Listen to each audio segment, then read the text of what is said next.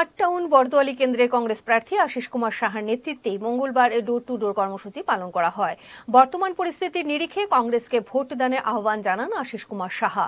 আগামী দু রাজ্যে কংগ্রেসের নেতৃত্বে সরকার গঠন হবে বলেও আশা ব্যক্ত করেছেন আশিস কুমার সাহা। বাড়ি বাড়ি প্রচারে যাচ্ছি ব্যাপক সাড়া পাচ্ছি। জনগণ বেরিয়ে এসে আমাকে আশীর্বাদ করছে। জনগণের আশীর্বাদেই আগামী দিন এই রাজ্যে কংগ্রেসের পুনরুত্থান হচ্ছে। আমি বিশ্বাস করি যে দু হাজার তেইশ সালের সাধারণ নির্বাচনে এই রাজ্যে কংগ্রেসের নেতৃত্বে পরিবর্তন অবিসম্ভাবী